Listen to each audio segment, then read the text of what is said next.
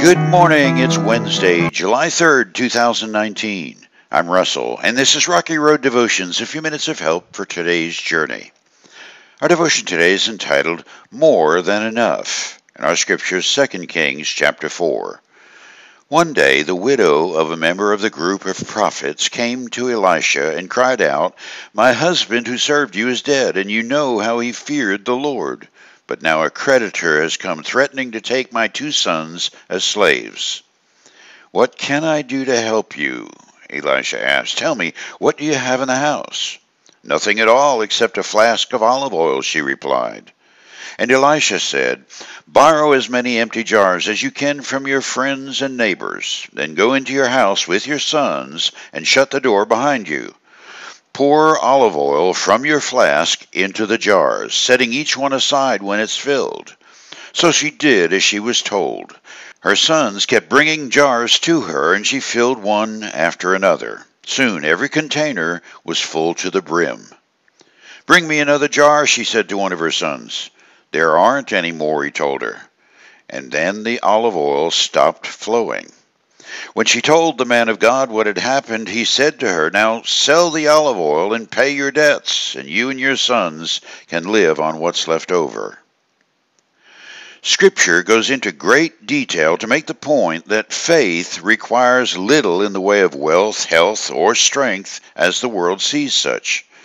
The widow of one of Elisha's prophet band had nothing to her name but a flask of olive oil, and the wolves were at the door.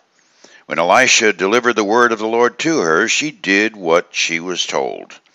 Faith in God is always a matter of obedience, even in the face of great odds or little understanding.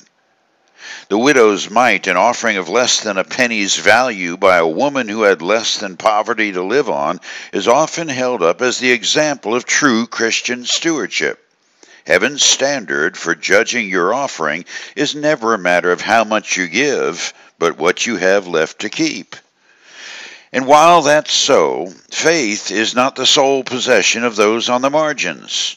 We must also see that the size of your portfolio never determines if your faith is great, puny, or non existent.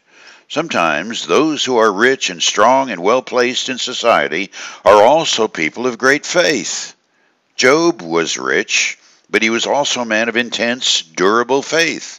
In fact, he was among the richest, healthiest, and most respected men of his time. John Wesley had fortunes pass into and out of his hands in his lifetime, but as a true man of God, those fortunes found ways to bless those less fortunate. Jesus warned about the trap riches can be to your spiritual health. The rich young ruler preferred his money rather than eternal life. The successful farmer built bigger barns to store his biggest crop ever rather than sharing with his neighbors. And the rich man, Dives, ignored Lazarus the beggar right on his doorstep.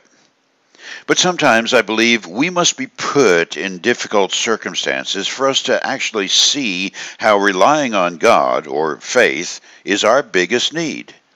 And that was the entire point of Jesus' teaching in each of those three stories. The rich young ruler, the successful farmer, and cold hearted Dives all trusted their wealth to carry them into a comfortable life. They were wrong. The allure of riches comes with a hook, a hook that sets in your soul and yanks it far from the heavenly courts above. For you today, it's not wrong to have the blessing of money. God can do great things through people who are generous and also listening for the Spirit's direction how to use what little or great blessings He's put in your hand. But those people for whom money has become their God, the question they really need to hear is Have you ever seen a U Haul trailer hitched to a hearse? You chew on that as you hit the rocky road.